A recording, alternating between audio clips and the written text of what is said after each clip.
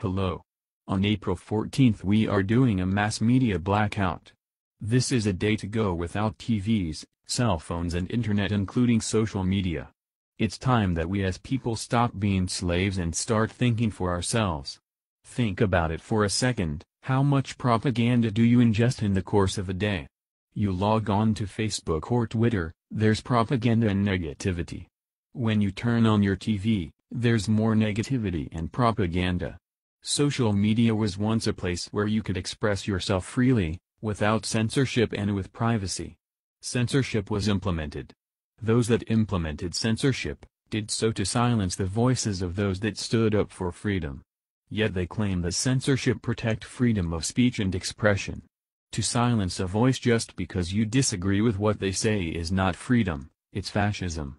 There has yet been given a good reason by the government to why privacy was taken away. One claim was to protect against terrorist threats. Even if this were true, it has proven ineffective. The NSA collects hundreds of thousands of text, email and phone calls a day. Yet they are still unable to stop terrorist attacks. TV shows are designed to keep us from thinking. The news outlets can't be trusted. There have been many times when they have been caught creating news or not telling the whole story. If you are tired of the lies and propaganda forced upon us, if you see what we see, if you feel as we feel, and if you would seek as we seek, then we ask you to stand beside us. Together we shall send them a message that shall never, ever be forgot. Together we can show the elite that we will no longer stand beside false reporting and we will no longer be enslaved. Their success is measured by how many are watching and how many likes clicks. It's time that we the people take back our power.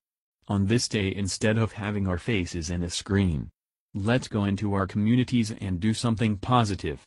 Human interaction is something that is missing in our culture. On this day we encourage you have some human interaction. Spend time with family, loved ones and friends. Go out volunteering. Whatever you do, do with love. Operation Media Blackout engaged. We are anonymous. We are legion. We do not forgive. We do not forget. Expect us.